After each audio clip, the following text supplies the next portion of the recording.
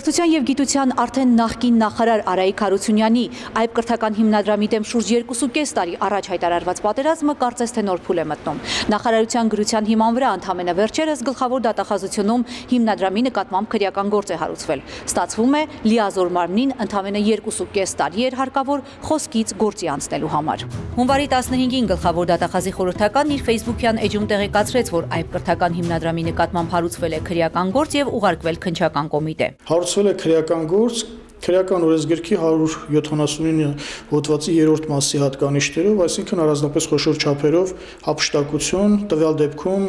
վատնման եղանակով։ Խոսքը վերաբերում է մոտավորապես 8.3 միլիոն դրամի կարգի գումարից։ Ինքներս չենք պատկերացնում ինչպես ինչպես են եկել այդ 8.3 միլիոնին, ինչի մասին է խոսքը, հա, ինչի ինչի հետ են գումարել հանել եւ շատ ուրախ կլինենք, որ այդ մասով մեզ էլ բարձաբանումներ ներկայացվեն, որովհետեւ կոնկրետացնել թե դա ինչ է, որտեղից է դուրս բերվել չենք կարող։ Շատերը սակայն հարուցված քրեական գործը միանշանակ չընդունեցին, ինչպես հրապարակման արձագանքած Facebook-յան օգտատերերն, այնպես էլ կրթության ոլորտի ներկայացուցիչները գրեթե համոզված են, որ այն վերջին 2.5 տարիներին կրթության նախարարության հետևողական ջանքերի հետևանքն է ամեն կերպ արժեզրկելու այբ հիմնադրամի Արարատյան բակալավրիատ ծրագիրը։ Անթույլատրելի են որևէ անհարկի շահարկումներ. քրեական գործի հարուցման հետ կապված ոչ միայն այն իմաստով, որ մարդիկ, ովքեր որ այդ շահարկումներն անում են, ընդհանրապես գաղափար չունեն ուրեմն նախապատրաստած նյութերով ձեռք բերված տվյալների մասին, այլ նաև ակնհայտորեն տեղի ունենում քաղաքականացման process։ Հիշեցնենք 2018-ի մայիսին կրթության այդ ժամանակվա նախարար Արայիկ Հարությունյանը խոսելով կառավարության կողմից ֆինանսավորվող ուսումնական նախագծերի մասին նշել էր. Էլիտար դպրոցներին Հայաստանի Հանրապետության կրթության եւ գիտության նախարարությունը չի աջակցելու տեր մեսրոկներին գումարներ չեն գնալու հարյուրավոր միլիոն դրամներ որոնք գնում են մասնավոր դպրոցների երբ որ գալիս է գալիս է պոպուլիստական կառավարություն իր հիմնական ընդդիմախոսը միշտ լինում է ազգային էլիտար մարդիկ որոնք մտածել գիտեն որոնք չեն հավատում փուչ խոստումներին որոնք փնտրում են իրական ճանապարհներ որոնք գիտակցում են դժվարություններ եւ պատրաստ են դրանք բարձրացնել հավանաբար ինչ որ մարդկանց համար մենք այդ էլիտան էինք,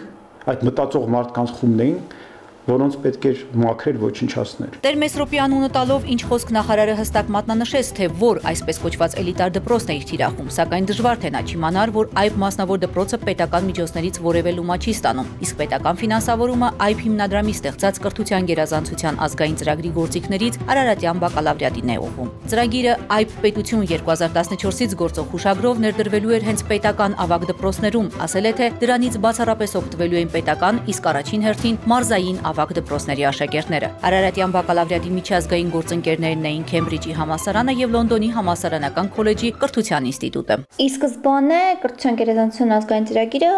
ուղղված էր մեկ բանի՝ համակարգային փոփոխություն բերել եւ կրթության գերազանցության նոր մշակույթ ներդնել, հա, երկրում։ Եվ 10-ամյա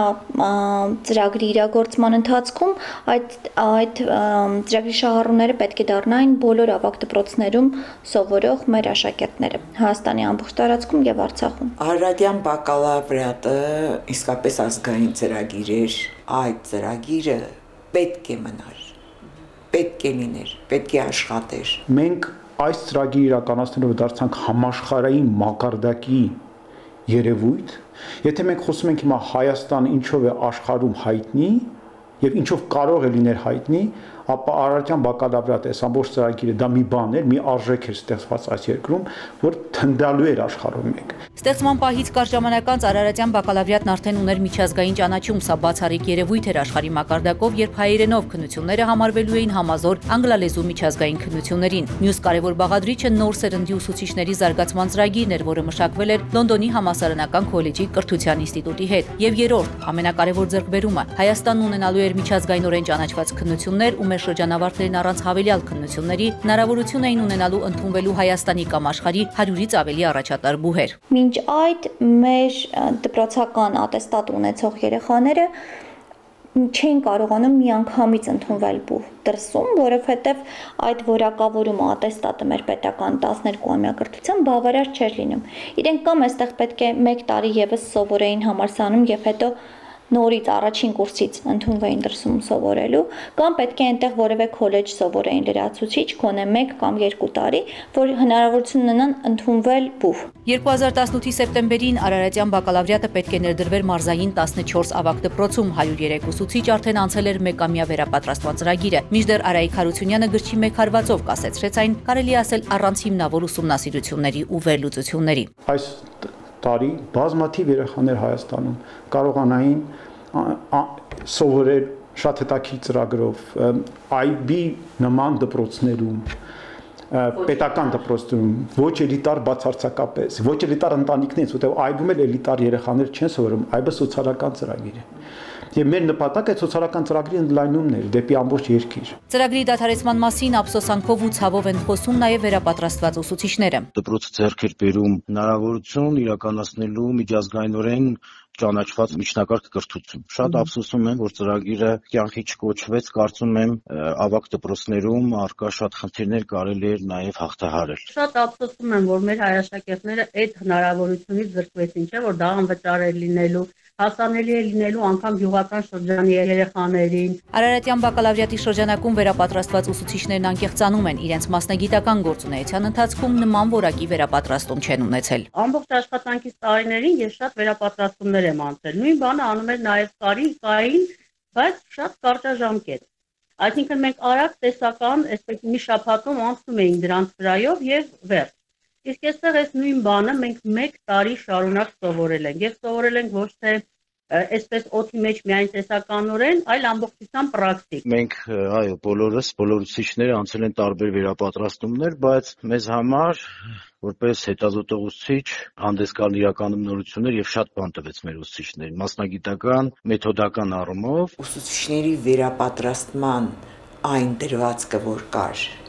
այբում, դա մի մակարդակ էր, որին ես ինքս որպես ուսուցիչ ժամանակին կերազեի։ Կրթության ոլորտի թիվ 1 պատասխանատուն 2018-ի մայիսից մինչև պաշտոնակությունը բարբերաբար խոսեց Արարատյան բակալավրիատում արկա խախտումների մասին։ Նախաձեռնեց իր իսկ խոսքերով ֆինանսական ու բովանդակային աուդիտներ, սակայն այդպես էլ մինչև վերջեր հրապարակեց, թե ինչ խախտումներ են հայտնաբերվել հիմնադրամում։ 2018-ի դեկտեմբերին լիազոր մարմինը հրապարակեց ուսումնասիրությունների նախնական տարբերակը, խոստանալով վերջնական գնահատականները ներկայացնել վերջնական զեկույցում փաստաթուղթը պետք է հրապարակվեր այբ կրթական հիմնադրամի կարծիքից հետո։ Սակայն ոչ միայն չներկայացվեց հիմնադրամի պատասխանատուներին ու հանրությանը, այլև զեկույցի մասին հրապարակումն ընդհանրապես հեռացվել է նախարարության պաշտոնական կայքից։ Սրա պատճառը ո՞րն էր։ Լավ,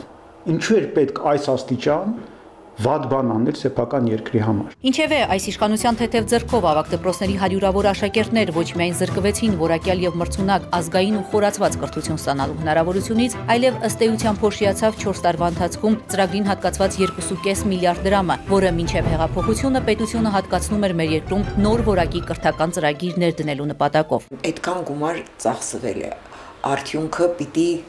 18 թվականի սեպտեմբերից լիներ արդեն Երևար